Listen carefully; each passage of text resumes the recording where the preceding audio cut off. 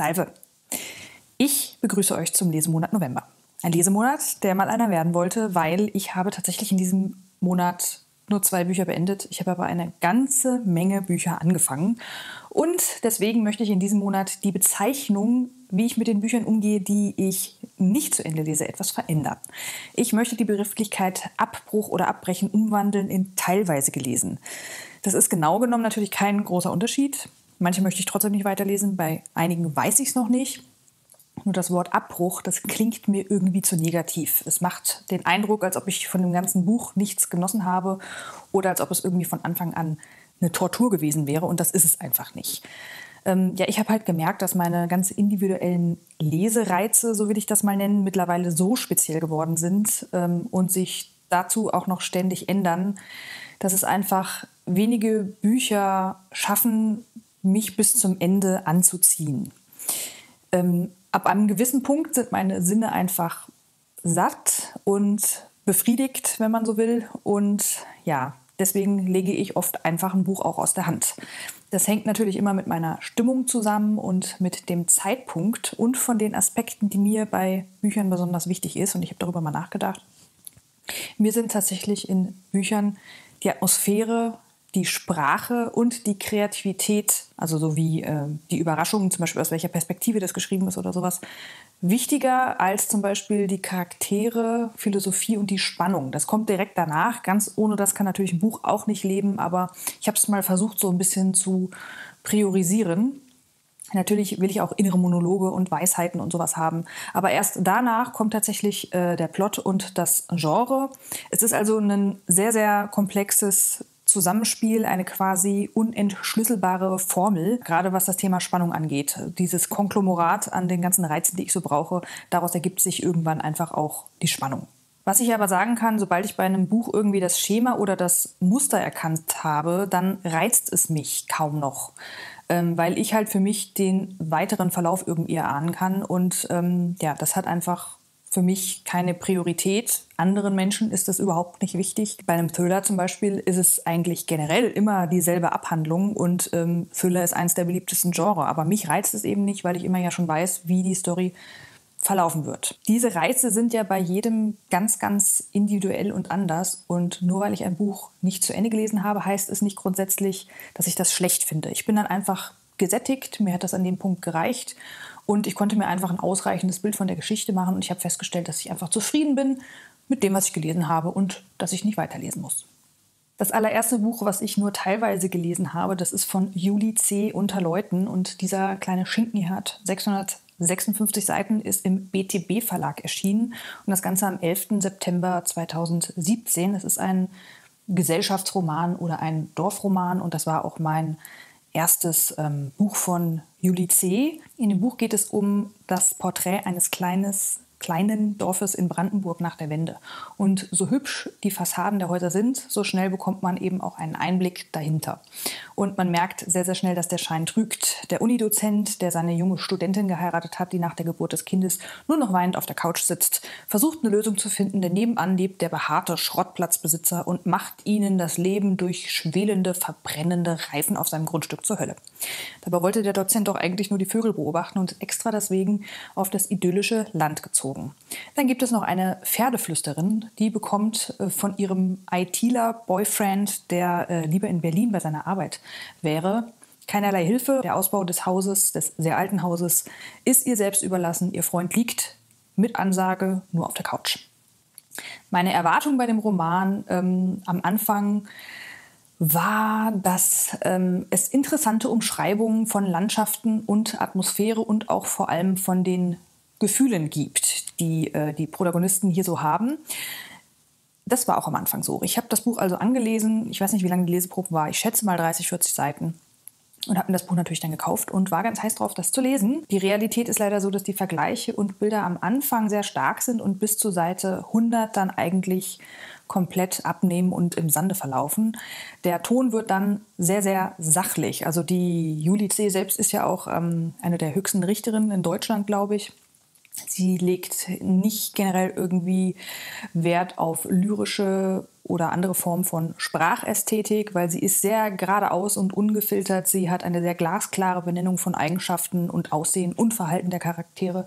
Und was mir aufgefallen ist, was ich sag mal ähm, in jedem Autorenratgeber gleich zuallererst klargestellt wird, ist, dass man nicht erzählen soll, sondern zeigen. Und Juli C erzählt viel mehr, anstatt dass sie zeigt. Ja, das war für mich nicht besonders interessant. Der Charme des Sprachstils hat sich dann irgendwie so entwickelt wie der Charme einer Bedienungsanleitung. Alles ist von außen erzählt und ähm, das meiste ist sogar in einem Rückblick erzählt. Und was ich auch nicht so gerne mochte, ist, dass sie einen sehr ironischen Unterton bei den Beschreibungen vor allen Dingen ihrer Charaktere mit drin hatte. Das kam so ein bisschen so rüber, als ob sie immer nur die schlechten Seiten ihrer Figuren hervorkehren will. Die Figuren waren mir insgesamt viel zu real wenn sich das vielleicht ein bisschen komisch anhört. Aber ähm, das war alles so unschön. Ich mag es halt gern schön. Und ähm, ihre Charaktere waren eben ein bisschen zu derbe, so will ich es mal nennen, zu unschön und leider auch zu klischeebeladen. Was ich damit meine, ist zum Beispiel ähm, ja, den behaarten Schrottplatzbesitzer mit Bauarbeiter-Dekolleté, alte Männer in schicken Autos, die junge Studentinnen heiraten und die weinend ihre Babys stillen. Das war mir dann einfach so ein bisschen too much. Am meisten hat mich aber wirklich der Unterton ihrer Erzählung gestört. Sie setzt ihren Lehrern, Lesern irgendwie voraus, dass sie von Natur aus Interesse an ihren Geschichten haben. Also es gab nicht irgendwie ein Ereignis, wo ich jetzt sage, boah, das ist so interessant, dass ich jetzt unbedingt weiterlesen muss. Das Ganze hat irgendwie so was Anleitendes, Belehrendes, vielleicht auch neunmal Kluges, irgendwie von oben herab, als ob sie einem erklären möchte, wie das Leben funktioniert. Ich habe das ganze Buch für mich dann ähm, in dem Genre ja, einsortiert, dass es eine Analyse eines Dorflebens ist, eine Erklärung, welchen Platz die Maschendraht-Zaun-Mentalität im Weltgeschehen hat. Und das ist nicht meine Art von Geschichte. Deswegen habe ich das Buch nur teilweise gelesen. Auf Seite 150 habe ich entschlossen, dass es für mich genug ist. Und das Buch möchte ich auch nicht weiterlesen. Das nächste Buch, das wird wahrscheinlich sehr, sehr viele wundern, dass ich das jetzt unter den teilweise gelesenen Büchern vorführe. Das ist nämlich Das Flüstern der Bäume. Das hat ähm, Michael Christie geschrieben und das hat 560 Seiten, ist im Penguin Verlag erschienen und die deutsche Ausgabe am 5. Oktober 2020. Jacinda Greenwood arbeitet als Naturführerin auf Greenwood Island. Ja, die Namensgleichheit, so glaubt sie, ist aber reiner Zufall bis eines Tages ihr Ex-Verlobter vor der Tür steht und im Gepäck hat er das Tagebuch ihrer Großmutter.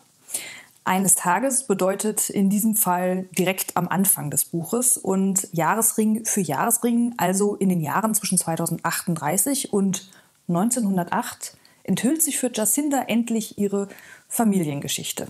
Seit Generationen verbindet alle Greenwoods nämlich eines und das ist der Wald. Und wie man sich unschwer denken kann, ist natürlich das große Thema in diesem Buch der Wald. Am Anfang besonders das Waldbaden, die Luxusgüter, die sich aus Papiermangel ergeben. Und das können zum Beispiel Bücher oder Echtholzmöbel sein oder sogar ein Kamin, der Holzscheite verbrennt. Und natürlich ist das Thema der Klimawandel. Und gerade dazu ist mir eine Stelle besonders aufgefallen. Mir kam das ähm, an einer Position so vor, als ob der Autor ähm, gebrainstormt hat, was denn in unserer Welt alles aus Holz ist und was wir vielleicht als selbstverständlich nehmen. Corbin führt sie kurz herum und sie kann nur mit Mühe verbergen, wie beeindruckt sie ist. Wo ihr Blick hinfällt, stehen die feinsten Möbel aus dänischem Teakholz und es gibt einen richtigen Kamin, in dem ein echtes Feuer brennt und an der Nordwand ein riesiges Bücherregal, in dem sicherlich tausend Bücher aus echtem Papier stehen. Alles umgeben von schönen Altholzpfosten und einer vermutlich unbezahlbaren Balkenkonstruktion. Und genauso deplatziert wie dieser Einwurf, den ich jetzt mache, ist mir eine Stelle am Anfang aufgefallen, die wie ungefähr ein Holzsplitter in einer sehr, sehr weichen Kuscheldecke ist, also absolut unpassend. Nach dem Essen sieht Corbin mit zusammengekniffenen Augen auf seine Rolex und führt sie wieder zum Sofa, wo sie sich küssen. Tut mir leid, dass ich das ansprechen muss, unterbricht er kurz darauf, und sie spürt den Hauch seines weinsauren Atems an ihrem Ohr. Aber ich will, dass wir ganz ehrlich zueinander sind. Hm, natürlich, sagt sie unsicher. Ich muss dir etwas gestehen, und es ist ein wenig peinlich. Er atmet tief durch. Aber mein Arzt hat mir wegen einer starken Latexallergie verboten, Kondome zu benutzen. Diese ganze Stelle klingt für mich super oberflächlich und snobistisch sowie klischeebeladen und passt überhaupt nicht zum Rest des Buches, aber äh, das ist total bei mir hängen geblieben. Und da muss ich mal mit dem Lektor schimpfen, der natürlich wahrscheinlich irgendwo in Amerika sitzt. Ähm, sowas ist eigentlich Aufgabe eines Lektors. Jeder Autor schreibt einfach runter, was ihm irgendwie einfällt und solche Passagen passieren, keine Frage. Aber das hat da überhaupt nicht reingepasst. Ähm, zum Rest des Buches kann man sagen, die Städte sind mittlerweile verstaubt und die Wälder gibt es nicht mehr. Und herbeigeführt ist das durch das große Welken. Ähm, es gibt auch eine kursierende Krankheit, die nennt sich der Würger. Bis dahin fand ich das Buch sehr, sehr gut, sehr, sehr kreativ. Ähm, auch der Sprachstil, der ist zwar eher plotorientiert, aber ähm, der Autor lässt sich trotzdem genug Zeit für bildhafte Sprache und bringt ein tolles Destillat an psychischen Zuständen seiner Figuren herüber. Also alles in allem sehr rund, sehr interessant und ähm, auch sehr abwechslungsreich. Der Aufbau des Buches sind wie die Jahresringe. Das heißt also, alle ein bis zwei Kapitel stieg ich weiter in die Vergangenheit von Jocinda herab und ähm, ja, im Endeffekt landet man dann tatsächlich im Jahre 1908. Und mutmaßlich ähm, taucht man natürlich danach auch wieder auf und landet dann am Ende des Buches wieder bei Jacinda im Jahr 2038. Ich bin bei dem Buch äh, trotzdem nur bis Seite 239 gekommen. Wie gesagt, ich finde das Ganze sehr kreativ und raffiniert geschrieben, ähm, aber ich kam unheimlich durcheinander. Ähm, je weiter ich gelesen habe, desto weniger wusste ich, von wem die Rede ist und deswegen habe ich es einfach zur Seite gelegt. Was das natürlich mit sich bringt, ist, dass man mit den Figuren nur eine oberflächliche Verbindung aufbaut, weil es eben in jedem Kapitel um den Vater oder die Mutter des ähm, vorherigen Kapitels geht. Und ja, das hat mich einfach wahnsinnig durcheinander gebracht. Die Erzählung ist sehr, sehr weitläufig. Aber ich kann sagen, dass ich das Buch vom Stil einfach sehr, sehr mochte. Ich werde das einfach in den Schrank stellen und warten, ähm, bis mich die Lust wieder packt und dann einfach weiterlesen oder nochmal von vorne anfangen. Ähm, es hat mir auf jeden Fall so gut gefallen, dass ich es nicht weggeben wollte, aber ich war nicht in der richtigen Stimmung und bin eben nur bis zur Hälfte gekommen. Das nächste Buch, was ich euch zeige und auch nur teilweise gelesen habe, ist Atemschaukel von Hertha Müller. Das Ganze hat 304 Seiten und ist ähm, ja, im Fischer Taschenbuch Verlag erschienen. Das Ganze im Juni 2011. Ähm, Hertha Müller hat für diesen Text den Nobelpreis bekommen und ich habe das Ganze gelesen zusammen mit der lieben Monja von Yes Momo Things und ihren Instagram-Kanal verlinke ich euch selbstverständlich unten. Und äh, Monja ist übrigens auch selbst Buchhändlerin und äh, leidenschaftliche Leserin. Auf ihrem Instagram-Feed werdet ihr also sehr viele interessante Sachen finden. Was Monja im Gegensatz zu mir macht, sie liest eben auch noch ähm, Literatur für jüngere Leute, was daran liegt, dass Monja einfach auch noch jünger ist. Ähm, hat mir sehr viel Spaß gemacht, mit ihr zu lesen. Was ich vor allen Dingen gut fand, war, ähm, dass wir eine ziemlich gleiche Einstellung zu dem Buch hatten. In dem Buch geht es um Rumänien 1945. Ein junger Mann wird in ein russisches Straflager verschleppt und das Ganze passiert auch 60.000 anderen Rumäniendeutschen. Das Ganze ist keine Fiktion. Zum Ende des Zweiten Weltkrieges gab es mehrere Millionen Ostarbeiter und viele haben das nicht überlebt. Am Anfang bekommt der Erzähler einen Brief und packt seine Sachen und geht fast schon ein bisschen naiv an die bevorstehende Abholung heran. Von den ersten negativen Erfahrungen erzählt er aber, als er noch auf der Fahrt dorthin ist. Als er dort ankommt, verändert sich aber die Erzählstruktur des Romans. Jedes Kapitel dreht sich da um einen anderen Mikrokosmos. Einmal ist das Brot das Thema, dann der Hunger, dann das Tauschen von Brotscheiben, dann der Zement, dann die Kalkfrauen, dann das Meldekraut. Sie wechselte dann von einer anfangs sehr lyrischen Sprache in eine teilweise sehr ähm, vermittelnde, also informationsvermittelnde Sprache. Und die hält sie recht schlicht Sobald es aber um Gefühle geht, um Gefühle des Protagonisten, wird sie auf eine bisher mir unbekannte Art lyrisch. Sie paart ähm, diese bildhafte Sprache und personifiziert alles um sich herum. Der Erzähler bastelt, so kam es mir vor, eine eigene Realität und erfindet eigene Wörter und Gesetze für sich in diesem Arbeitslager. Es liest sich ungefähr so, als ob der Protagonist dem Wahnsinn nahe ist. Der Sand hielt mir von unten den Rücken und der Himmel holte mein Gesicht zu sich hinauf. Bald wurde der Himmel blind und meine Augen zogen ihn zu sich herunter. Augäpfel und Stirnhöhle waren vom Himmel gefüllt, durch und durch reglos blau. Zugedeckt vom Himmel wusste niemand, wo ich bin, nicht einmal das Heimweh. Im Sand setzte der Himmel nicht die Zeit in Gang, doch er konnte sie auch nicht zurückdrehen, so wie der gelbe Sand auch den Frieden nicht ändern konnte, nicht den dritten, nicht den vierten. Womit ich dann letztendlich nicht so ganz zurechtkam, war, dass ich mich ausschließlich im Kopf des Protagonisten befinde. Die Lyrik war mir teilweise ein bisschen zu abstrakt, obwohl ich es zeitweise auch sehr, sehr genossen habe. Aber in diesem Buch gibt es keinerlei Dialoge und es gibt auch bis dato, wo ich gelesen habe, und das ist ungefähr seit 150 gewesen, keinen Plot. Ich dachte, das Ganze würde so ein bisschen linearer erzählen. Die ganze Erzählung besteht eigentlich aus kunstvoll, sehr kunstvoll dargestellten Schnappschüssen. Ich habe äh, insgesamt eigentlich eine reellere Darstellung erwartet und äh, mir hat einfach der Bezug wirklich zum tatsächlichen Geschehen gefehlt, obwohl ich einfach auch sehr gut nachvollziehen konnte, äh, wie verrückt man in so einer furchtbaren Situation werden kann. Ähm, das Buch werde ich auch nicht weggeben. Es kann sein, dass ich mich nochmal genau in der Stimmung für Hertha Müller befinde, aber es ist ein Buch, was man nicht auf die leichte Schulter nehmen sollte. Äh, ich empfehle definitiv eine Leseprobe und möchte auch nochmal darauf hinweisen, dass es wirklich eher lyrisch gehalten ist ähm, als plotgetrieben und da sind wir wieder auch bei den individuellen Reizen. Plot ist mir zwar nicht wichtig, aber ganz ohne geht es halt für mich auch nicht. Das nächste Buch, was ich gelesen habe, ist von ähm, Michael Stavaric, wenn ich das richtig sage. Es heißt Fremdes Licht, hat 512 Seiten und ist im Luchterhand Verlag am 9. März 2020 erschienen.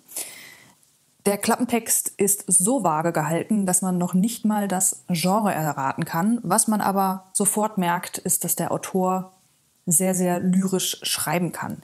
In dem Buch geht es um eine junge Frau. Sie ist an einem unbekannten Ort in einer eisigen und unwirtlichen Umgebung. Erst nach und nach kehrt die Erinnerung der Protagonistin zurück. Und Elaine, so heißt sie, begreift, was passiert ist. Ihr Großvater lebte einst bei den Inuiten in Grönland und lehrte sie das Überleben in Eis und Schnee. Sie merkt, dass sie zuletzt für einen Schweizer Konzern im Ort Winterthur tätig war und dort als Genforscherin arbeitete und mit der Rekonstruktion von Leben vertraut war. Die Erde ist während eines Kometeneinschlags zugrunde gegangen und sie ist die letzte Überlebende der Menschheit. Was das alles mit ihrer Urgroßmutter aus Grönland zu tun hat, ahnt sie nicht, denn ja, sie ist die einzige Überlebende und sie ist irgendwo auf einem Eisplaneten gelandet. Also wer jetzt nicht sagt, wow, das ist wahnsinnig interessant, ähm, bei dem weiß ich auch nicht. Also wir sind hier im Genre teilweise Science Fiction gelandet. Das Ganze ist aber ähm, sehr, sehr subtil geschrieben, sehr, sehr langsam erzählt. Die Protagonistin ist ja Wissenschaftlerin und ihre Erfahrungen wertet sie also eher psychologisch als gefühlvoll. Das Ganze ist erzählt wie ein Karussell aus Empfindungen und Erinnerungen ähm, und die Geschichte wird dabei nicht besonders vorangetrieben. Sie bezieht sich immer auf ihren Großvater und die Sprache und die Lebensweise der Inuit und versucht daraus Kraft für das weitere Vorgehen zu schöpfen. Das Ganze ist faszinierend, aber es ist auch sehr, sehr zäh. Es dauert nämlich zum Beispiel 50 Seiten, bis sie in den Wrackteilen ein paar Utensilien findet, ähm, die sie zu ihren persönlichen zählt diese Form der Einsamkeit, die ist ähm, überwältigend und faszinierend und ich hätte das gerne noch ein bisschen intensiver gespürt. Ich glaube, dann hätte ich das Buch wirklich eingeatmet. Ähm, ich habe in Rezensionen gelesen, dass das Buch mittendrin die Perspektive und sogar das Setting und sogar die Zeit wechselt und ich weiß nicht so genau, ob ich das gut oder schlecht finde. Ich bin jetzt aber darauf vorbereitet. Das ist auch ein Buch, das stelle ich mir auf jeden Fall noch in den Schrank und ähm, warte, bis ich auf ähm, eine eisige Slow-Pace-Geschichte Lust habe, die ich finde, sie ist gut geschrieben. Sie ist vielleicht manchen ein bisschen zu distanziert geschrieben. Ich empfehle da auf jeden Fall auch vorher eine Leseprobe. Äh, und ich möchte, dass man sich darauf einrichtet, dass man Geduld mitbringt. Ich glaube aber, dass das Buch groß, großartig wird, gerade bis zur Mitte hin und ähm, bin gespannt, wann ich es dann letztendlich weiterlese. Beim nächsten Buch ist es äh, noch gar nicht lange her, das habe ich euch ähm, bei meinen Neuzugängen in die Kamera gehalten und habe euch auch äh, aus dem Anfang etwas vorgelesen, weil ich den Klappentext nicht lesen wollte. Es geht um Bevor es dunkel wird von Stephanie Merritt. Das Ganze ist im Blanvalet Verlag erschienen und ja, hat knapp 500 Seiten, 470. Unsere Protagonistin heißt Zoe und sie erhofft sich nach einem psychischen Zusammenbruch auf einer schottischen Insel Ruhe und Erholung zu bekommen. Doch bereits nach ihrer Ankunft machen unheimliche Gerüchte die Runde. Denn in dem Haus, das Zoe über den Sommer gemietet hat, passieren seit dem mysteriösen Tod der Vorbesitzerin Ailsa angeblich immer wieder unerklärliche Dinge. Und tatsächlich, Zoe hört nachts eine singende Frau und wird von wilden Träumen heimgesucht. Sie ist sich natürlich nicht sicher, ob, sich das, ob sie sich das nur einbildet. Aber was ist mit den Möbeln, die morgens nicht mehr an ihrer Stelle stehen? Als ein heftiger Sturm aufzieht, muss Zoe sich schließlich ihren schlimmsten Ängsten und Albträumen stellen und gerät dabei in Großgefahr. Die Atmosphäre bei dem Buch am Anfang war wunderschön. Das Setting ist atemberaubend. Mein Favoritensetting, eine wunderschöne Villa in die Klippen gemeißelt an den Küsten von Schottland. Also besser geht's eigentlich nicht. Gegruselt habe ich mich allerdings sehr, sehr wenig in dem Buch. Elsa hat ähm, die ganze Zeit Stillschweigen über ihre Begegnungen bewahrt, obwohl ihr die Dorfbewohner zugetragen haben, dass es dort nicht mit rechten Dingen zugeht. Das Haus und die Klippen wurden leider nur einmal beschrieben. Danach ging es eigentlich nur noch um die Handlung. Der Buchshop im Dorf, der hat mir auch noch sehr, sehr gut gefallen. Dann aber nicht mehr, denn der Geist, den sie traf, war anscheinend sexsüchtig. Das hat für mich irgendwie nicht zusammengepasst. Ich fand das sehr, sehr unpassend. Und dann wurde da auch noch eine Love Story mit einem jüngeren Lehrer eingeführt. Und das Ganze empfand ich persönlich total fehl am Platz. Ich habe da überhaupt gar keine Connection gespürt oder sowas. Es kam für mich auch absolut aus dem Nichts. Allerdings, ich bin wirklich durch die ersten Seiten geflogen. Ich habe es tatsächlich mal genossen, dass der Schreibstil recht einfach war. Ich musste nicht ständig anhalten und mir irgendwas markieren, aber letztendlich die Summe aus dem falschen Verhalten und für mich äh, sehr uninteressanten Plot-Elementen wie Love Story und Sex, die das Ganze dann auch ja, dominiert haben, die führten ähm, zum Desinteresse. Und der komplette Authentizitätsverlust, der war dann auf Seite 202. Zoe, noch voller Empörung, wollte erneut zu einer Schimpfkanonade ansetzen, als ihr plötzlich bewusst wurde, dass er die Wahrheit sagte. Ängstlich und völlig verstört kauerte sie unter ihrer Decke. Seite 203. Sie sah, dass er fröstelte. Du frierst ja. Komm zu mir ins Bett, zum Schlafen, verstehst du? Vollkommen. Dankbar schlüpfte er unter die Decke. Die Verstörung, die sie erhalten hat, war durch eine sexuelle Handlung. Nur mal so, by the way. Ja, und im Endeffekt war das dann ähm, ausschlaggebend, dass ich das Buch dann auch wirklich bis dahin gelesen habe und nicht weiter. Und ich möchte es auch nicht weiterlesen, weil einfach, ich hatte gedacht, es ging ein bisschen um was anderes, aber im Endeffekt war es dann doch ein Standard-Thriller. Man will es kaum für möglich halten, aber äh, wir kommen jetzt zu den Büchern, die ich gelesen habe. Es sind also nur noch zwei Stück, dann habt ihr das Video geschafft. Das erste Buch ist Im Rausch der Stille von Albert Sanchez Pignol. Das ist ein Debütroman, das hat 252 Seiten und das ist ein apokalyptischer Abenteuerroman oder einfach Literatur, so würde ich es nennen. Und das ist im Oktober 2008 erschienen. Setting ist ein einsamer Leuchtturm und Nebenfigur ist ein verwirrter Leuchtturmwärter. Hauptfigur der neue Meteorologe, der hier am Ende der Welt Zuflucht sucht. Doch ja, die Stille täuscht, denn Nacht für Nacht wird der Leuchtturm von unheimlichen Wasserwesen angegriffen. In diesem Roman geht es um rohe und urmenschliche Gefühle. Tatsächlich war ich mir bei dieser Inhaltsangabe nicht sicher, ob sich das Ganze vielleicht auf einer metaphorischen Ebene bewegt, weil ich mir einfach nicht vorstellen könnte, konnte, dass man Literatur und postapokalyptische Zustände miteinander in Verbindung bringen kann. Im Endeffekt geht es in dem Buch um das, was die tatsächliche Existenz eines Menschen ausmacht. Es geht um nichts weiter als um das Überleben. Ich würde das zwischen Abenteuer und Horror oder Science Fiction ansiedeln. Ähm, das hat aber auch einen gewissen psychologischen Tiefgang. Ich fragte mich wirklich die ganze Zeit, oder sagen wir mal einen Großteil des Buches, ob mir das gefällt, ob dieser plötzliche Stilbruch zwischen dem literarischen und diesem wahnsinnig spannenden Szenario einfach zusammenpasst. Das ist ein sehr, sehr hoher Kontrast und ähm, mir gefiel der Roman tatsächlich sehr gut. Das Ganze, obwohl es natürlich alle Punkte einer apokalyptischen wie sehr auch klaustrophobischen Geschichte erfüllt, es wollte sich bei mir keine Langeweile einstellen. Ganz im Gegenteil, ich kam nach langem mal wieder in einen richtigen Leserausch und der Autor, der verstand es, die Handlung auch sehr merkwürdig voranzutreiben, aber die Charakterentwicklung und seine literarische Ausdrucksweise blieben überhaupt nicht auf der Strecke. Nach wie vor erscheinen mir einige Dinge an dem Roman sehr suspekt. Die bringen mich nach wie vor zum Nachdenken. Aber das Buch ist definitiv anders als die meisten Bücher, die ich gelesen habe. Und dadurch finde ich es besonders interessant. Ich finde, das macht eben auch einfach ein Stück Lektüre aus. Die Geschichte muss ja nicht immer die sein, die einem am besten gefällt, sonst würden wir wahrscheinlich alle die Geschichte vom Schlaraffenland lesen oder von König Arthur rauf und runter. Das ist eine Geschichte, die hat mich gefordert, aber sie hat mir gefallen, die hat mich zum Nachdenken gebracht. Die war interessant, die war mal was ganz anderes und Setting war grandios und alles war rund am Ende, auch wenn halt viele Dinge mich aus meiner Komfortzone rausgebracht haben. Aber das ist ja auch das, was Literatur ausmacht von meinem eigenen Video inspiriert, nämlich dem Sub-Video, was ich euch neulich hochgeladen habe. Das findet ihr natürlich in der Infokarte.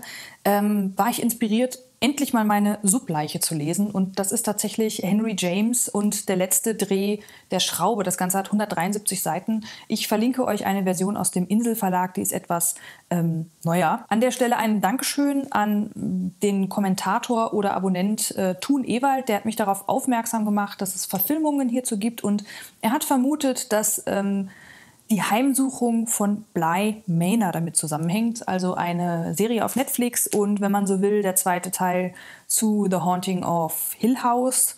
Das wurde wiederum nach einem Roman von Shirley Jackson verfilmt. Auch wenn die Bücher und die Serie jetzt nicht allzu viel gemeinsam haben, aber ich schweife gerade ab. Das hier ist auf jeden Fall die literarische Vorlage zu der Serie Bly Manor die Heimsuchung von Bly Manor. Das ist eine Subleiche, das lag jetzt drei oder vier Jahre ähm, auf meinem Sub und ich bin froh, dass ich es jetzt gelesen habe. In dem Buch geht es um eine junge Frau, die kommt als Gouvernante auf den verwunschenen Herrensitz. Sie fühlt sich natürlich am Anfang sehr, sehr glücklich und auch die beiden außergewöhnlich schönen und klugen Kinder, ähm, mit denen sie einfach an diesem Ort leben kann und es kommt immer häufiger zu unerklärlichen Geschehnissen. Wer sind die beiden unheimlichen Gestalten, die sich ihr wiederholt zeigen? Sind ihre Schützlinge wirklich so engelhaft, wie sie erscheinen? Und wem kann man überhaupt noch vertrauen? In dem Buch befinden wir uns ausschließlich im Kopf der Gouvernante. Sie beschreibt ihre Beobachtungen sehr, sehr ausführlich. Sie analysiert sie mit ihrer Kollegin auch ausführlich ähm, im Dialog und daher entsteht ein sehr, sehr angenehmer Wechsel aus Theorie und Praxis. Das Buch ist sprachlich, ich würde es etwas verzwickt nennen, weil es gibt hier unheimlich lange Sätze und die Aussage des Satzes ist eben teilweise durch viele Nebensätze auseinandergerissen. Sie arbeitet ebenfalls mit vielen Adjektiven und man muss gut aufpassen, um eben zu verstehen, was sie sagt. Ich für meinen Teil kann sagen, ich konnte der Geschichte lediglich folgen, weil ich eben vorher die TV-Adaption gesehen habe, also diese neue Interpretation. Es gibt auch eine andere Verfilmung. Ähm, mir war das vorher nicht ganz bewusst, dass es tatsächlich eine Buchvorlage dafür gibt, aber ich bin jetzt froh, dass ich sie gelesen habe. Ich hätte wahrscheinlich sonst der Geschichte nicht so richtig folgen können, weil das ist natürlich ein Klassiker und die Höhepunkte sind nicht ganz so offensichtlich wie in zeitgenössischerer Literatur. Hätte ich die Serie nicht gesehen, ich hätte das Buch nicht voll und ganz verstanden. Das gleiche gilt für die Auflösung. Ich habe schon mal gehört, dass das einfach sehr, sehr merkwürdig ist, was am Ende passiert. Mir ist es dann klar gewesen, aber ich hätte das, wie gesagt, ohne die vorherigen Informationen, die ich hatte, da wären mir einfach super viele Fragen offen geblieben. Aber ich habe jetzt meinen Sub von meiner ältesten Subleiche befreit. So, wir sind am Ende des Videos. Es ist ja doch schon ganz schön lang geworden dafür, dass ich nur zwei Bücher wirklich vollständig durchgelesen habe. Aber ich hatte ja auch ein bisschen was zu erzählen. Gibt ja auch immer einen Grund, warum man gewisse Bücher nicht vollständig durchliest und eben nur teilweise liest. Ja, ich hoffe, mein nächster Monat äh, wird wieder ein bisschen besser. Ich kann jetzt schon mal sagen, mein Currently Reading ist super und ich freue mich, euch das auch nächsten Monat dann vorzustellen. Und ich wünsche euch einfach ja, eine schöne Weihnachtszeit, wenn wir uns erst im nächsten Lesemonat wiedersehen und hoffe, ihr schaltet wieder ein. Ich freue mich, dass ihr bis hierhin dran geblieben seid und wünsche euch eine tolle Zeit Bleibt gesund, macht's gut. Bye bye.